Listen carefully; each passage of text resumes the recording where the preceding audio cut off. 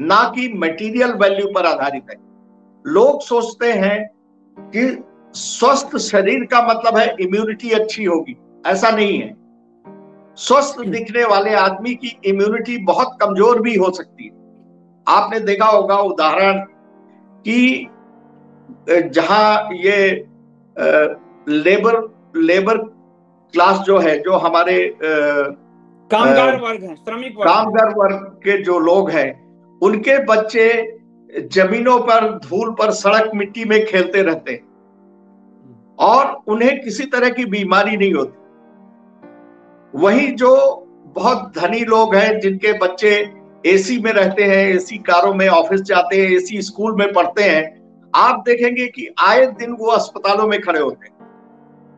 और अभी कुछ दिनों से मुझे ये पता चला है कि बहुत सारे स्कूलों ने अभी एक नया करिकुलम शुरू किया है, जहाँ उन्होंने मड पिट्स बनाए यानी मिट्टी के पिट्स बनाए हैं, जहाँ इन बच्चों को खेलने का अवसर दिया जाता है कुछ फ़ीस लेकर। तो उसके लिए, मिट्टी में खेलने के लिए भी फ़ी देते हैं ये, तब इनके बच्चे वहाँ खेल पाते हैं। और इससे लाभ ये हुआ है कि बच्चों की इम्यूनिटी बढ़ी है।